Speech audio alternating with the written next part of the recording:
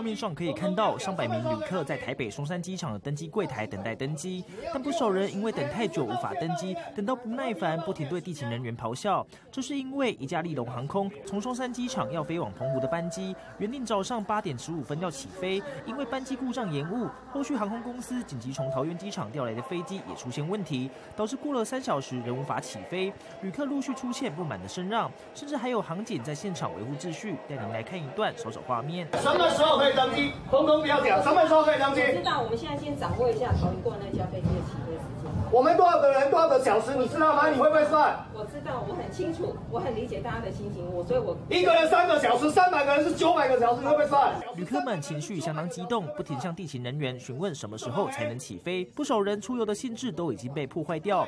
利用航空也紧急在现场提供点心跟饮料安抚旅客。班机问题直到中午才排除，延迟了将近四个小时。十二点零六分终于顺利起飞，受影响的旅客人数仍有待确认当中。